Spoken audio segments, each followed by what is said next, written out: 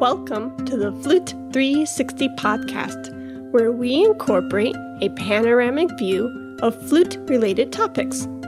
I am your host, Heidi K. Begay, and this is episode 122 Tech Equipment for Flute Recordings, Part 1. The Flute 360 podcast and JK Media Productions are teaming up to help you with your student and professional needs. I, Heidi, offer consultation work to both music students and professionals alike. If you are a student who needs help studying for graduate pre and post music exams, editing a research paper, interested in flute lessons, or needs help with job applications, I am here for you. Also, I have been currently working with ministries, music publication companies, and other music professionals to help them with their online projects. Whether you need creative or social media help, I would be thrilled to work with you. My husband, Eric, has been an audio and video engineer for over 10 years and owns the JK Media Productions Company. If you are someone who takes or gives music lessons via the web and need help with equipment and or setup, feel free to reach out to Eric. Lastly, he is well skilled with audio and video edits for your next creative project. Please contact us today at HeidiKBegay.com and jkproductions.media so we can get started working towards your professional goals. We look forward to hearing from you soon.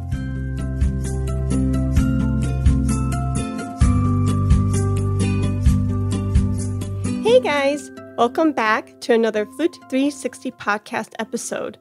I'm so glad that you have tuned in and thank you so much for your support. If you are a new listener, please go ahead and subscribe to the podcast through your favorite podcast app. Thank you so much.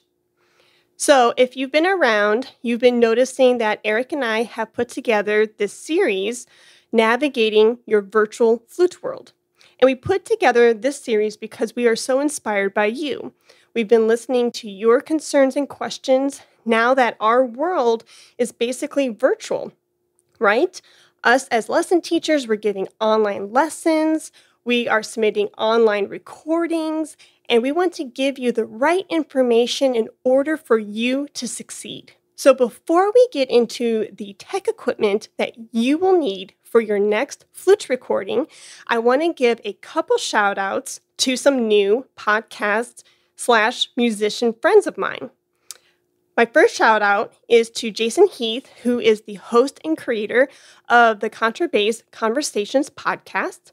Also, Garrett Hope with the podcast called Portfolio Composer and Pathways podcast with Adam Wolf. I reached out to these three gentlemen earlier this week and said, hey, for September, let's collaborate, let's pick each other's brains about this virtual world that we live in of podcasting. So we are all podcasters, we are all musicians. Let's get together and help our audience members. So, since again our world is changing, we want to get together and talk about how you can develop and put together your own online platform so you're visible and not only visible, but you are creating income, multiple streams of income for you, the entrepreneurial musician. So look forward to that in September. Woo! So, Eric, welcome to the show. Thank you for having me again. Yeah, this is so fun to do it with my husband, my partner in crime, my best friend, and an expert in the field. Thank you. Yeah. so, tell the listeners a little bit about yourself so that way they can feel like they know you and they can just totally gel with you. Well, I am a musician too. I'm a self proclaimed blues guitar player. you are a blues guitar player. and I studied music, just like Heidi. We met in 2005 uh-huh. the University of Arizona in music theory. Yeah.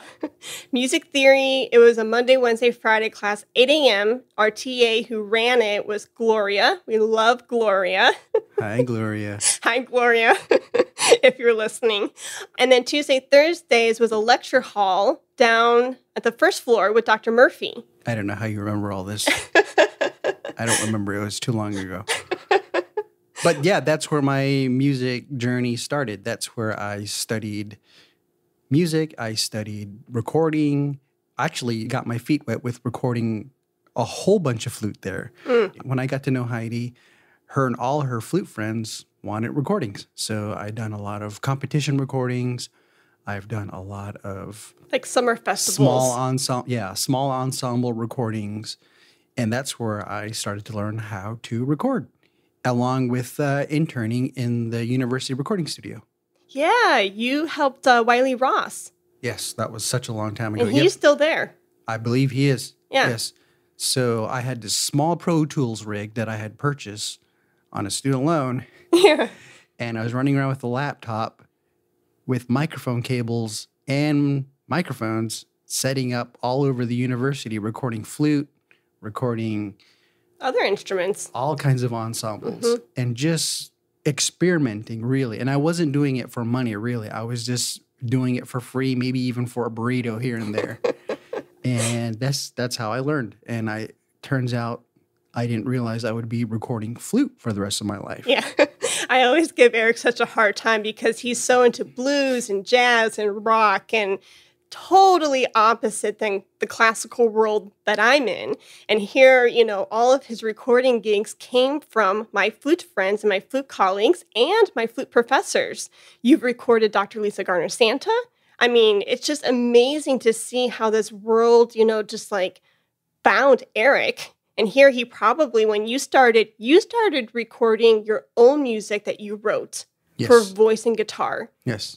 I bet you had no idea that when you started recording your own compositions, did you ever think that recording classical flute would be in your world? And here you are. Yes, exactly.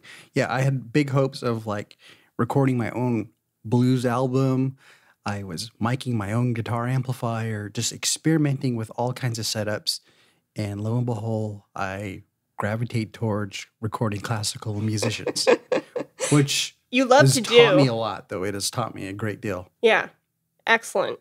Well, you know, everybody needs a Heidi in his or her life to, you know, totally flip your world upside down and give you some new challenges to embark on. oh, shoot.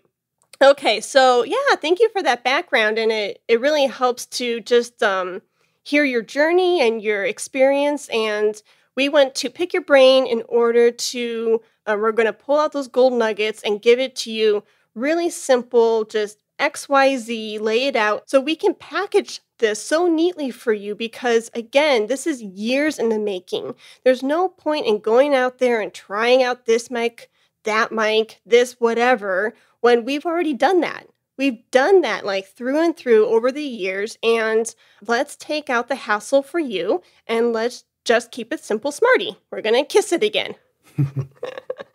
okay, so today we are talking about the equipment that you will need for your next flute recording. Now, there are so many different ways you can record flute, right? Flute piano, flute and chamber ensemble, and the list goes on and on. So, we're not going to do that. We are just going to focus on solo flute because guess what? Your online flute festivals, your online recording submissions for TMEA, NFA, it's going to mostly be for flute solo. So that is the setup for today. Yes. Great. Okay, so stereo microphones is what you are recommending. Can you just tell us what a stereo microphone is? Okay, a stereo microphone is basically two microphones set up in an XY pattern, which is let me just back up a little bit here. An XY pattern is probably one of the more simpler and more popular microphone patterns in a stereo fashion. And there are many out there. There are probably like four others out there, but I won't mention, I'll just mention this one for simplicity's sake. And what it does is it captures a left and right spectrum. Because we have two ears, the way we hear things naturally is from our left and our right ear and we want to capture a recording that way. So it sounds natural. Yeah, no, that's really cool. I love it because us humans, we have two arms, two hands, two legs, two feet, two ears, two eyes. And so if you have a microphone that basically captures what is natural already to us, Yes. that makes sense. Yep. Try listening to old AM radio. Old AM radio was done in mono, and that is one sound source coming out of both speakers or all your speakers if you are driving in a car. but and then when they had stereo like FM radio, then you would hear the depth in music. You could start to hear, oh, you could hear a little bit of the violin coming out of the right side compared to the left side that had a little bit more of the twangy guitars. Okay. So that is the difference between hearing in mono and hearing in stereo. The stereo gives you the depth of left and right. I love it. I love that word depth. That makes a lot of sense to me. Cool. So you have two top picks for your stereo microphone. What are they? Okay, so the one we are familiar with, and we have this in our own microphone locker, which is the Zoom H1. It is probably one of their first models. Right now they have the H1N, which does the exact same thing. It's just a little bit more updated. But the H1 is in the Zoom line of handy recorders, and there are several out there. But this one particularly has an XY pattern already built into it, XY pattern stereo microphone. And you can slip an SD card in there, which you can remove and plug into your computer to remove recorded files. Nice. Yeah. Trust me, I am not tech savvy. I do not have the silver thumb in the family. It is totally Eric. But when he bought me the H1 Zoom handy recorder, he showed me how to do it. And in like two minutes later, I could figure it out. So if I could figure it out, you can figure it out. That uh, small SD card is literally what Eric just said. You just plop it right into your computer and your MP3 files will pop up. Yes. And it does record in MP3 and WAVE if you're looking for a higher fidelity audio file. Awesome. Cool. And that microphone right now runs at about $120. So completely budget friendly. And your second microphone, Eric, is the. It's still in the Zoom handy recorder line. Very simple to use. And it's the H4N. Has a little bit more extra features, even has a remote style feature. So you could set your mic up on a microphone stand and hit record with a handy remote. So you don't have to run to the mic, hit record, and run back to your music stand to record your music. That is definitely a nice feature because when Eric is busy and he does not have time to record me, um, I do get a little frustrated with the H1 in the sense that it's far away. I do have to run. I mean, I can literally see myself having to go through this process that Eric just described and hit the record, go back, play the flute, hit stop. I mean, so that remote feature for the H4N sounds really ideal. And these are, like I said, all stereo microphones. So it'll give you the best natural sound for solo flute, a small ensemble, a choir, those kinds of setups.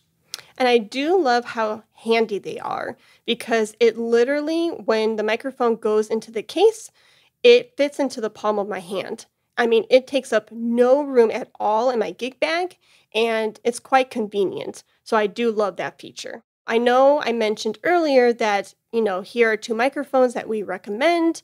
They are budget friendly. Um, if anyone is thinking or worried and thinking, oh my gosh, you're giving me something cheap. No, not at all. We are giving you something that, yes, it is budget friendly, $120, $250 that is budget friendly, but you are not going to get a cheap sound. This is high quality for a very reasonable price.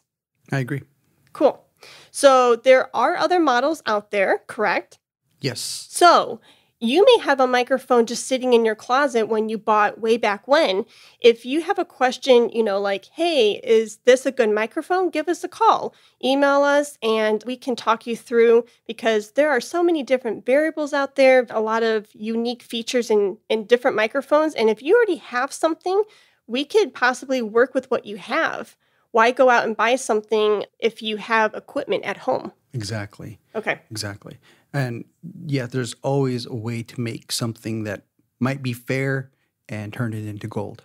Nice. I love it. So, before we get into other options, we should mention that those two Zoom recorders can come with an accessory pack. Can you talk about what that is, Eric? Yeah, the accessory pack, I believe, has a tripod, oh, like a windscreen, I believe the SD card, and USB cable, things like that to attach to your computer so you can exchange files between your computer and even uh, complementary software so you can do a little bit of editing if you had to. Let's say you had to clip the top of the recording that you don't need and then the end of the recording where you don't need and you just get the meat of your audio file. So, with that accessory pack, it's about $50 more, but it's really a steal. And with that pack, I believe there's also like a desktop tripod and attachments. So, why do I need a tripod and why do I need an attachment for a microphone stand?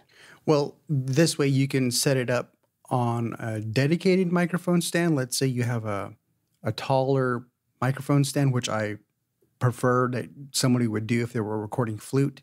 Or if you had that small tripod with the kit, you can set it on top of a music stand, extend the music stand as high as you could go. And kind of lay it flat like a table? Yep. Use it like a tabletop, and then you can record that way as well. Okay, cool. But you need it to sit onto something. Yes, exactly. Okay. Very cool. Um, if your budget has more oomph to it, where you can possibly look at higher end microphones, Eric has chosen two microphones for your budget. Okay.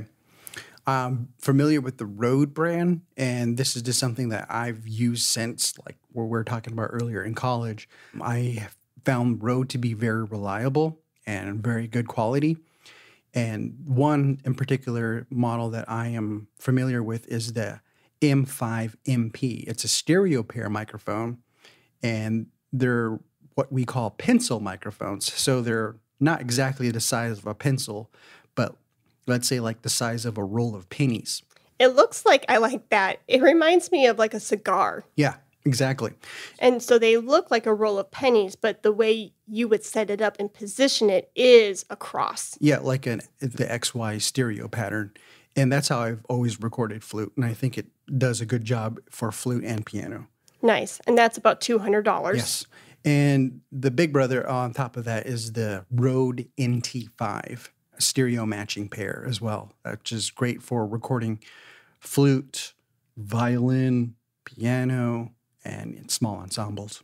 Nice. So I like how you are highlighting the fact that even though, yes, we are talking about recording for flute solo setup, there are other possibilities with these microphones. You are not limited just to a solo flute scenario. Yep. Let's say you were playing in an ensemble. You can even apply this to that particular scenario if you're being accompanied by a piano or other instruments. Yeah, so when our crazy, hazy world of COVID is lifted, we can go back to somewhat normal times and play with our friends. Another great microphone is the Audio Technica AT 2022, which is another stereo microphone. And this is actually just a one piece microphone, but at the very tip of that, where the capsules are, they're put in an XY pattern as well. Okay, cool. So, those three microphones that you just listed, the two Rodes and the Audio Technica, you will need an interface for. Yes, you will need a USB Thunderbolt audio interface, one of the two. Okay. And there are so many interfaces out there. Uh, one of the interfaces we use um, is Focusrite, another one is Roland. So you can't really go wrong. There are so many different bells and whistles with each interface, and we won't go through all the different variables, but just know that you're going to need an interface for those three microphones. And if you have questions about interfaces, again, that's why we're here. Yeah, and just for simplicity's sake, we're using a simple two channel interface where we can plug two XLR microphone cables into to get both pairs of microphone recorded separately. Okay, cool. So earlier you mentioned the microphone stand. What should people know about this piece of equipment? Yes, you want a very sturdy microphone stand. Particularly with microphones like this, you want something that has maybe a tripod leg stand, maybe something with a heavy base, a heavy duty microphone stand with the right articulation, boom, and something tall that could reach at least about six, six and a half feet to seven feet, where your microphone will be sitting about two feet above your head. I'm glad you mentioned that about the height because that is so crucial. We will talk about the setup of this equipment in episode 123. And if you get a microphone stand that does not have that height and you cannot extend it, you're going to be in trouble with the setup to get the best quality of your recording. Yes. So, importantly, a, a boom microphone stand. So, that boom arm. Yep, with the boom arm. Yep. Awesome. Okay, so that was for an audio recording submission. Now let's go on to the video submission. I know TMEA right now is asking for their students to submit a video recording of the three etudes, you know, per your instrument. So again, we want to keep it simple, smarty, budget friendly, but it does not mean that the quality is low. It's just budget friendly, and it's going to give you a really top quality sound and production. So we have chosen the Shure MV88. And why have we chose that, Eric? It attaches to your iOS device. So if you have an iPhone or an iPad, you can turn this into a high quality audio video system. Nice. So everybody has an iPhone, an Android, some kind of smartphone, or an iPad. Yep. So why not use the equipment we already have and just kind of flourish it into a video studio? So that's the budget friendly part. Our smartphones are already built with amazing video features and the quality is superb. Yep. So let's use that to our advantage. Do not use the internal microphone. It's going to sound tinny and icky, for lack of better words. I'm very professional, aren't I? But the quality, the visual quality that you get from the cameras is superb. Yes, the video camera on the iPhones record in 720p, 1080p, and even in 4K. And so this is high enough quality for a great visual. But what this attachment does is add the audio to that. So it bypasses the internal microphone, and this particular mic plugs right into the lightning connector, and you can turn this microphone towards the source and it records in a stereo fashion, a stereo pattern. Okay, so how am I propping up my camera and the microphone? Good question. This particular model also comes with an accessory kit where it comes with a, a clip for your phone, just the phone, but not the iPad. You may need like a separate iPad holder for that. You can probably look up on Amazon. There are plenty of those that you can attach to a tripod, like a regular camera tripod. Oh, cool. So this whole package is about $250. Again, budget friendly, and that's the Shure MV88. Yep. Cool. But that's not to weed out if you already have something like a DSLR, a Canon DSLR that you take photos with, that can actually record about 30 minutes of video time, give or take. The downside to this is the built in microphone on that camera is not so great. So you may need to record the audio separate and have to edit that together. Okay, so I know this from experience. If you're thinking, if you're a teacher or a student out there and you're like, what the heck is he talking about? I'm going to put it in layman's terms because trust you me, I'm the one who needed it explained to me way back when, and now I get it. So, what he's talking about is the internal microphone into the camcorder is for speaking purposes typically. You get a camcorder because you are recording a family birthday party or a swimming party. That's talking. So it's not designed to record the sounds, the acoustics coming from a musical instrument. So he's talking about you have to get an external microphone, and any of those microphones that we mentioned earlier will totally fit the bill. And you have to have both running at the same time. So then the editing that he's mentioning that's coming in, he's talking about you have to sync up the visual and the audio together so it, so it lines up. So that's where the editing comes into play. Yep. So again, if you don't want to pull out your hair and you want to go this route because you already have a Sony or a Canon camcorder at home already and you want to use this equipment, go for it. But if you don't want to rack your brain and try to figure out how to sync up audio and video, send it over to us. We would love to do that for you. Okay, so just like in episodes 120 and 122, we have emphasized that the setup of this equipment is so important. Again, you can have put in so much money into your equipment, but if you are not properly setting it up, then it's not going to do you any good. So, next week is episode 123, and it's the setup of this equipment that we just mentioned. So, you can buy all this fancy equipment, but if you are not setting it up correctly, it's not going to do you any good. Awesome. So, thank you so much, Eric, for letting us pick your brain. And I hope that this information has helped you, the teacher, the student, with your next recording project. Glad to help. Cool. So, to wrap up this episode, we won't take up any more of your time. But um, as a teacher and as a flutist, I totally get how um, practicing for an online festival or a competition is very time consuming. You are practicing the music diligently, you are practicing performing in front of friends and family members, and now you are being asked to practice the art of recording. So if this is too much to juggle, use us. We are here for you. We totally get it. And we want to help you produce the best quality work that you have been working so hard towards. So let's put together a nice package for you and deliver it so you feel super confident and you can feel um, satisfied with your work. Awesome. So, again, episode 123 is next week. You do not want to miss it because it is the setup of this technical equipment that we laid out for you today. Our picks for today are Mr. Eric J. Begay. I pick Virgil's sugar free root beer. Any other picks? No, that's it. No.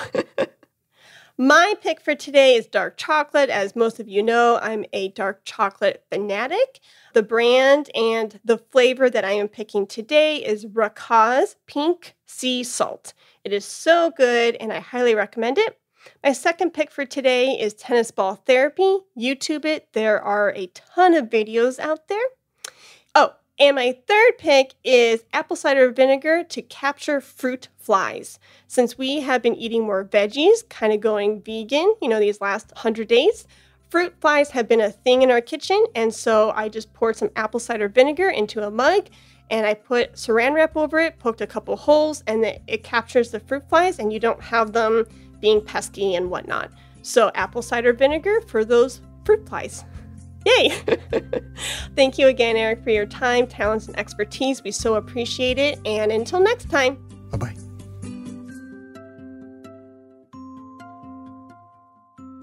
Today's sponsor is brought to you by J&K Productions. Did you know that not only are they a production company for podcasts, but they are a recording company for musicians? Any musical recording needs that you may have J&K Productions can fulfill that need.